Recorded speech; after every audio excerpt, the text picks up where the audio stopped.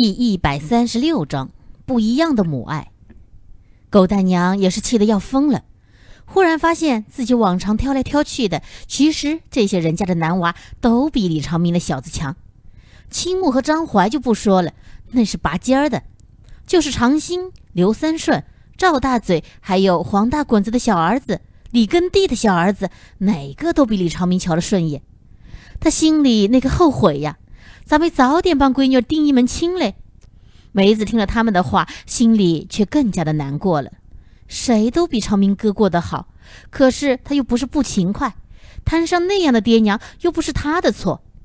这么不停的说了半天，葛大娘又对梅子道：“我瞧你前些日子心里烦，又老去找菊花，还以为你喜欢青木嘞，我就托了你黄奶奶去问郑婶子的意思。瞧人家青木多有志气。”他呀，一定要挣一份家私才成亲。可是他又觉得你是个好女娃，不想错过了，就说先定亲，等过两年再成亲。我可高兴了，你也正好能在娘家多陪爹娘两年，这样多好。说完，他就盯着梅子，只要他一反对，就把心里准备好的几百样言语摆出来堵他。反正要找李长明家的不足和青木家的好处，容易得很。依他看来，青木哪点都比李长明强。梅子听娘说已经把他许给青木了，那心就冰凉一片了。这时候，他总算体会柳儿说的“我心里很苦嘞”这句话的心情。前儿他还没这种感觉嘞。可是他不会跟柳儿似的去找李长明，他也不会跟娘说他不乐意嫁给郑家，他会乖乖的听娘的安排。可是他心里却感到万分难过。他强忍着眼泪对娘说道：“娘让我嫁给谁，我就嫁给谁。”狗蛋娘打点了一肚子的话，就等梅子说不乐意嫁给青木，好劝她。万料不到她说出那样的话来。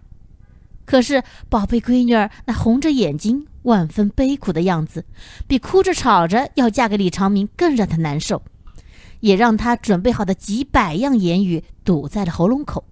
噎得他一口气出不来，差点儿没晕过去，只觉得心肝肺一起疼了起来。他一把抱住梅子，哭得肝肠寸断，一边在心里把李老大骂得半死。这李长明就要成为女婿了，再不好也是女婿，当然不能骂。于是就骂他爹，骂花婆子。秦老友也叹了口气，抹起了眼泪，说一千道一万，还是闺女要紧。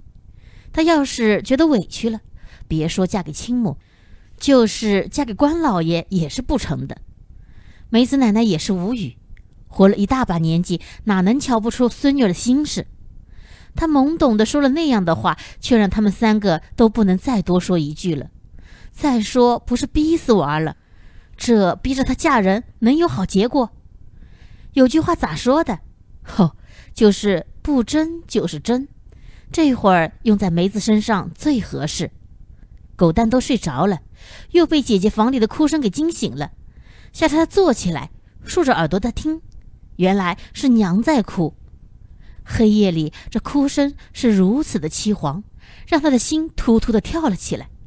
这下可不得了，他急忙光脚跳下床，跑到房里边，见大家都在掉眼泪，娘和姐姐抱头哭，以为出了啥事儿，也跟着大哭起来。这小娃儿虽然总挨打，但家里生活温馨，他还是能感觉到的。像今儿这种情况，以往从未出现过，因此哭得稀里哗啦，声儿也响。秦老友见儿子也来了，本无心管他，可是又嫌弃他哭得大声，于是呵斥道：“小声点儿。”梅子奶奶忙拉过孙子，撩起衣襟帮他擦眼泪儿，小声道：“狗蛋莫哭，没事儿，去睡吧。”奶奶呀，一会儿就来睡了。狗蛋不肯走，脸上挂着泪，担心的瞧着娘和姐姐。老奶奶只好把他抱到梅子床上坐下，又见他光脚来的，便把他一双脚搁在床沿外。梅子见娘哭得厉害，以为他是担心自己做丑事。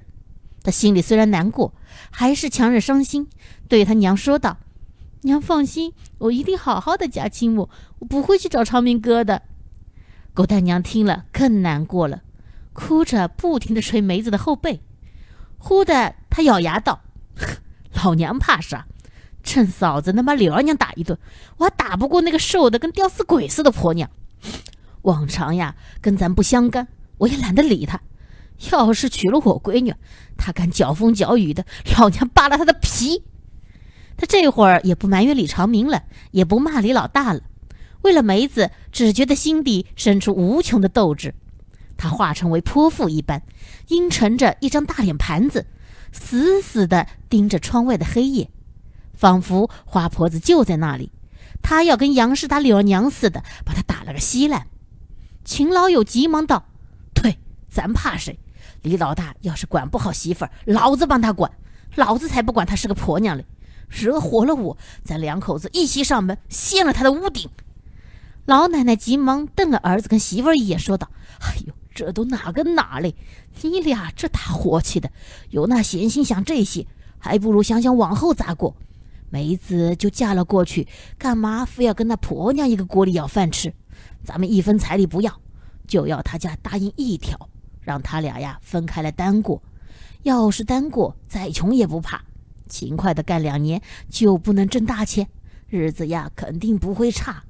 你们再帮衬着点儿。反正狗蛋还小，眼下又不用娶亲，过几年他这日子呀不就好了？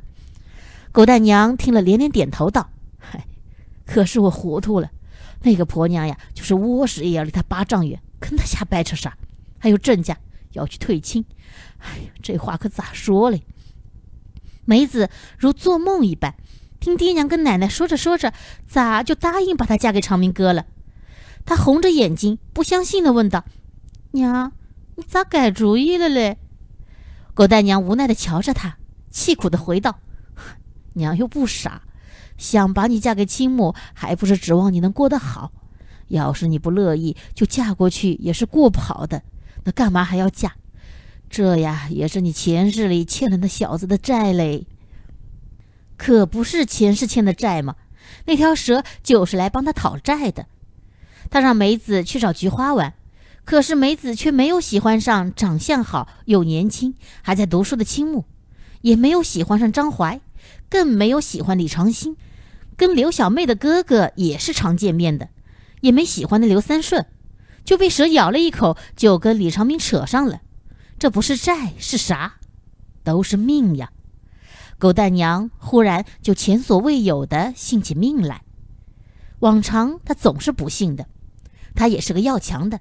觉得自个儿努力就能挣回一份好日子，如今她算是晓得了，有些事情就算努力也是白搭，该咋的就咋的。梅子听了娘的话，呜呜咽咽的哭了。他娘跟柳儿娘真的不一样，他娘真的就依了他的主张嘞。狗蛋娘见梅子又哭了，可是脸上的悲伤却不见了。她拉着自己的手，哭得可怜兮兮的，一副母女贴心的样子。忍不住又是伤心又是感叹，她总算没糊涂，在气头上逼她嫁给青木。虽然想起了李长明，这心里就是不忿，可只要闺女顺心，不是比啥都强。老奶奶提醒儿媳妇儿：“我呀，瞧你明儿还是跟长河媳妇直接说，他们两口子都是通情达理的人，你正经的去跟他赔个小情，这事儿呀，说不定就过去了。”要是你瞒着他，没准呀还坏事儿。谁也不是傻子，哪有头天上门求亲，第二天上门退亲的？你呢，跟他细说了，求一求他。他是个儿女心重的人，不会跟你计较的。再说了，咱两家也就是才说了要定亲，还没请媒人嘞，村里呀也没人晓得。狗蛋娘点点头道：“哎，我去跟他好好说。他家的青木是个出挑的，不愁找不到媳妇儿。”哎，你这傻闺女，咋这么没福气嘞？梅子羞愧不已，晓得娘去郑家求亲，也不是因为旁的原因，而是错认为自己喜欢青木，才厚脸皮上门的。她一直都在为自己操心嘞。她忍不住哭道：“娘，我害你丢人了，我我。”他娘忙制止他道：“好了好了，你又没干啥，咋丢人了？不许这么说了，不过是阴差阳错罢了。”你郑婶子呀，不会在外边乱说的。秦老友也安慰道：“闺女儿，你啥也不要想了，底下的事儿就由爹娘来办，快洗洗睡吧。闹了半夜的，狗蛋还坐这干啥？快去睡觉！狗蛋娘瞪了狗蛋一眼，对他说道：“姐姐的事儿可不许在外瞎说，不然的话，我打烂你的屁股。”狗蛋连连点头道：“嗯嗯，不说不说，我不说。”一家人遂去睡觉不提。只是狗蛋娘这觉睡得极不安稳，在梦里跟花婆子大打了一场，天明早起还气得胸膛直鼓。秦老友见他脸色不好，忙问他是不是没睡着。狗蛋娘气呼呼地说道：“睡倒是睡着了，就是做了个梦，梦见那花婆娘欺负咱梅子，我呀跟她打了一架。嘿，你别说，这婆娘呀打架厉害的很嘞。”秦老友听了媳妇的话愕然，随即感到好笑。对他说道：“呵，那是梦，我就不信真打起来你会打不过他。哼，要是真打起来，我也上场帮你，我才不管她是个婆娘嘞。”狗蛋娘听了，扑哧一声笑了，觉得肚子里的气消了好多，遂考虑起上郑家陪小琴的事情来。他吃过早饭，先找了黄奶奶，然后两人一道往郑家去，在路上又跟黄奶奶说了梅子的心事。请黄奶奶也千万帮着说说话。